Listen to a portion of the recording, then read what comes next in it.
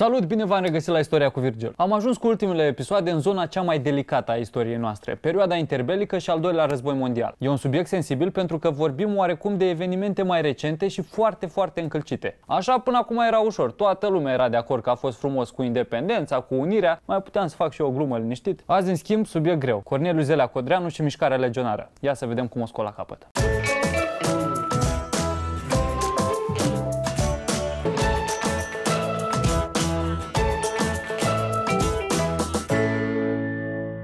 Pentru că știu din sezonul trecut ce repede au sărit unii când am ajuns cu povestea la legionari, o să încerc să nu mai alimentez sentimentele astea negative și să prezint povestea cât mai curat. Eu măcar încerc, sper ca și voi să încercați același lucru în comentarii. Așa, mișcarea legionară pornește de la niște aso- asociații studențești. Mișcarea legionară pornește de la niște asociații studențești care voiau o altă față a României. Până aici totul ok. Acuzau corupția și jocurile de culise ale marilor partide politice. Din nou de acord. Le era teamă de bolșevici, pe bună dreptate, voiau înlăturarea influenței masonilor, aici începem deja un pic cu vânătoarea de vrăjitoare, și puneau accentul pe naționalism, religie și cultul eroilor. Și m-ați pierdut. Liderul, capitanul, cum își zicea sau îi se zicea, nu știu care a venit cu ideea, a fost Corneliu Zelea Codreanu, un tânăr cu mare priză la publicul interbelic dezorientat. România era acum confruntată cu nesiguranță politică, criză economică și neînțelegeri între lideri. Cum să o scoatem la capăt, e întrebarea. Extremist de dreapta, normal. Deci hai să vedem cum s-a ajuns aici, urmărind povestea lui Corneliu Zelea Codreanu. Codreanu este născut în 1899 la Huș. Bă, și tu tot din Vaslui. După școala primară face liceul militar la Mănăstirea Dealu și școala militară de infanterie la Botoșani. Deci ca să înțelegem influențele și ca să punctez cât de importantă e educația în anii copilăriei. După primul război mondial, în Europa încep să se răspândească ideile bolșevice, antimonarhice, antinaționaliste și atee. Și normal, apar mișcări reacționare din cealaltă extremă. Iar răspunsul societății românești este mișcarea legionară. În 1919, Corneliu se înscrie la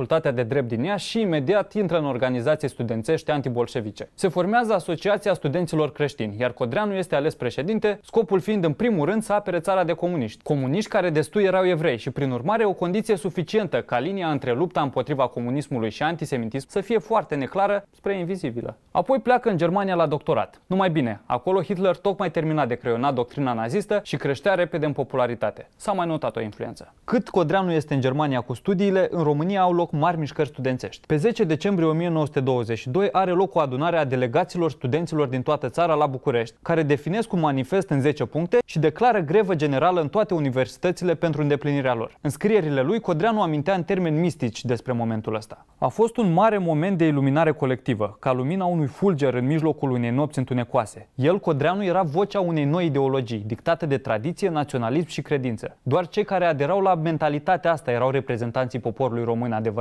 Iar acum ei, legionarii, erau haiducii zilelor noastre, care trebuiau să lupte pentru libertatea neamului. Din nou, neamul trebuia cernut și balastul putea fi abandonat fără probleme. Ei, aici mi se pare că o ia razna cel mai rău ideologia asta, ca toate ideologiile extremiste de altfel. Uită sau nu vrea să admită că poporul suntem toți, că nu e trecut nicăieri că o condiție pentru a fi român e să fii și ortodox, să te îmbraci în ie și să mănânci brânză cu ceapă și să cânți la fluier. Și că mai trăiau pe lângă ei și alți oameni care își doreau la fel de mult dreptate și onoare, doar că înțelegeau să-și trăiască viața în alt mod. Îmi plac și mie tradițiile. Ea e un simbol și pentru mine, dar o asociez cu alte valori. Nu poți să forțezi oamenii să gândească la fel ca tine și cu atât mai puțin să-i condamni când nu gândesc la fel ca tine. Gândește așa cum ai fost crescut și educat. Și încă o dată, uite cât de importantă e educația. Cu ceva noroc și poate dacă nu erau timpurile de așa natură, energia aia putea fi folosită într-un mod mult mai constructiv pentru România. Îți dai seama atâta amar de tineri studenți, probabil cea mai promițătoare resursă a țării. Dar ăștia au fost stimulii pe care i-au primit, felul în care au fost tratați și asta a ieșit până la urmă. Astăzi o mișcare atât de viguroasă a tinerilor României cred că ar avea o față mult mai moderată și în interesul țării. Și din nou, de asta e importantă educația, să fim în stare să înțelegem ce e spre binele comun și unde începe autodistrugerea. Da, e așa de comod pe canapea și popcorn și a apărut un nou sezon din serialul meu preferat. Despre ce vorbeam? Bum!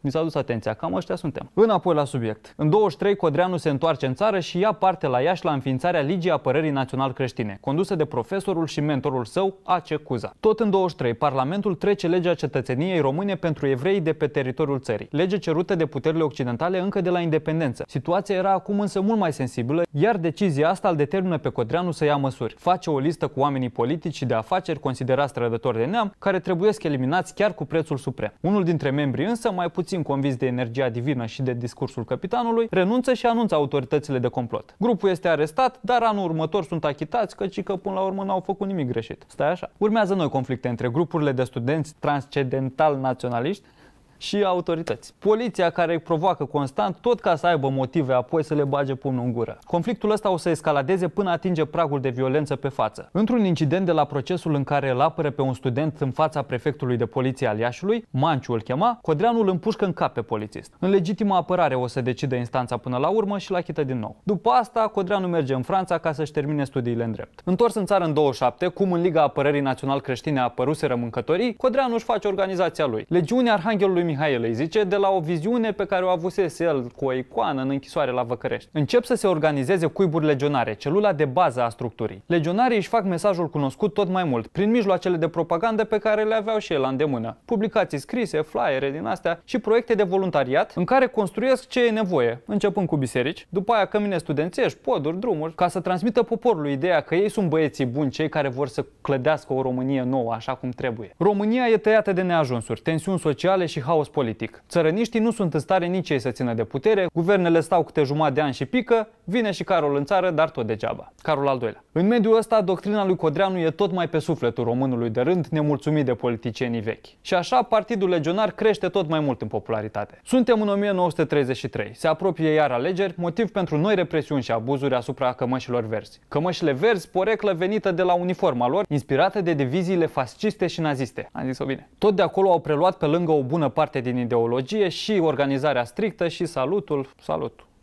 Noul guvern condus de Ighe Duca dispune dizolvarea gărzii de fier, arestează legionari pe capete și câțiva sunt chiar uciși. În replică, un grup de trei băieți în verde îl asasinează pe premier. Nu mai era de glumă urmează un val și mai mare de opresiuni împotriva mișcării. Cu garda dizolvată se găsește o nouă soluție. Codreanu înființează partidul Totul pentru Țară. Exact aceeași treabă, dar al treilea nume. Aici vine episodul cu asasinarea lui Stelescu, în 36. Un membru legionar care se pare că sifona informații din cuibul legionar și era sponsorizat de oamenii lui Carol al II-lea ca să-l critique pe capitan în presă să-i mai taie din capitalul de imagine. Un grup de 10 oameni este trimis să-l pedepsească pentru trădare. Ciuruit cu gloanțe, ciopărțit cu toporul în timp ce intonau imnuri legionare. Creștinește, cum zice și doctrina doctrină. Asasinii se predau și o să fie închiși împreună cu cei care îl omorâseră pe premierul Duca, plus mai târziu capitanul din ordinul lui Carol, 14 bucăți în total. În noiembrie 38, cât era plecat în Germania la un ceai cu Hitler, regele Carol al II-lea lasă vorbă să-i transfere pe deținuți dintr-o închisoare în alta și pe drum ăștia să evadeze ca să aibă motiv gărzile să-i strângă de gât până nu mai suflă. Toți, inclusiv capitanul, caput. Cei 14 sunt sugrumați în pădurea Tâncăbești. Ca răspuns se formează un grup care caută răzbunare. Un nou prim-ministru este asasinat, Arman Călinescu. Și de aici se aplică din nou legea talionului. Legionarii sunt uciși cu sutele, o demonstrație de forță a dictaturii lui Carol. Pe mai departe, liderul legiunii devine Horia Sima, care reușește să țină în viață organizația împotriva suprimărilor puterii. Dar cumva, norocul, să zicem așa, se schimbă pentru legiune. Vine războiul peste noi, pierderile teritoriale din 40 pac-pac, regele Carol abdică și își vede de ale lui pe alte meleaguri, iar puterea este pasată generalului Antonescu. Iar Antonescu bate palma cu legiunea, pentru că nimeni dintre politicieni nu voia să se asocieze cu poziția în care ajunsese țara. Se creează statul național legionar, cu Antonescu șef peste un guvern cu jumătate miniștri legionari. Știi când te uiți la documentare din alea cu Germania nazistă și te minunezi de hipnoza aia generală care i-a dus pe oameni în punctul ăla? Ia dați o căutare pe net cu Antonescu și Horia Sima să vedeți defilări cu mâinile ridicate și pe la noi în România. E și asta parte din istoria noastră și numai acum 70 de ani. Iar pentru unii e chiar motiv de mândrie, pe mine asta mă îngrijorează mai mult. Cu puterea în mână, verzii se dezlănțuie. Își creează un sistem de dreptate paralel prin care pedepsesc pe cine consideră ei că e vinovat pentru crimele din urmă. În noiembrie 40 sunt uciși 64 de militari, foști miniștri și demnitari la Jilava, plus separat asasinarea lui Nicolae Iorga și Virgil Magiar. Pentru Antonescu e de ajuns și vrea să pună capăt nebuniei. Se învoiește de la Hitler și desfințează statul național legionar după doar câteva luni. Timp de 3 zile în ianuarie 41 are loc un fel de război civil între legionari și armată, cunoscut ca rebeliunea legionară. Antonescu va învinge. În disputa asta cad victime și o grămadă de evrei, uciși și jefuiți de oamenii lui Sima, sinagogi și temple devastate, în ceea ce a rămas ca pogromul de la București. Unii legionari fug în Germania, alții închiși sau chiar trimiși în linia întâi pe front, într-un fel tot ca să scape de ei. Și cam aici se încheie prezența legionarilor pe scena politică, niște ani deloc buni pentru România, dar nici pe departe doar din cauza lor. Să nu uităm, asta e cel mai important. De asta e importantă educația pentru a cincea oară în episodul ăsta și de asta e bine să fii în stare să judeci pentru tine, să distingi binele de rău. De asta trebuie să mergi la școală și de asta școala trebuie regândită ca să învețe copiii de noile valori ale lumii în care trăim. Omenirea a trecut prin prin destule necazuri ca să se ajungă până unde suntem azi. Dar sunt mulți care n-au acces la toate lucrurile de care ne bucurăm eu și tu. Și ca să nu ne împotmolim și să o luăm de la capăt ca societate, ideea ar fi să nu lăsăm oamenii ăștia în urmă. Că ăia lăsați pe din afară o să se simtă atât de răniți, nemulțumiți și abandonați, că nu o să le mai pese de cât rău fac, doar ca să acopere nedreptățile pe care le-au suferit din partea celorlalți. Punct. Dacă vi s-a părut prea scurt, stați liniștiți că rămân în preajma subiectului ăstuia și săptămâna viitoare. Până atunci știți, toate episoadele le găsiți și pe YouTube și ne revedem din nou duminică de la 17 și 10. Seară bună!